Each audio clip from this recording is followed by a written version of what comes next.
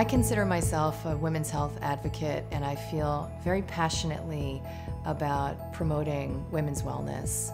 And it was very shocking for me to learn uh, the latest statistic, which is that one in four women of reproductive age are taking a medication for depression.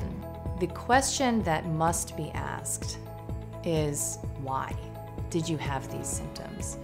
What are these symptoms about that brought you to medication treatment in the first place?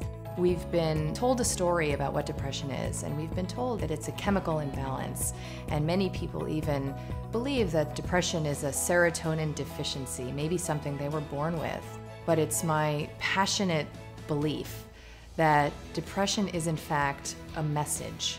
It's a message and an opportunity to change.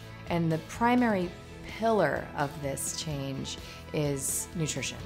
In my experience, there is a template that works. A side benefit of this diet is decreasing inflammation, balancing blood sugar, and increasing the amount of nutrient dense foods. And while you're doing that, we start to clean up the rest of your life. So we start to clean up the products that you use. And then I'm also very interested in giving you tools to manage your stress response.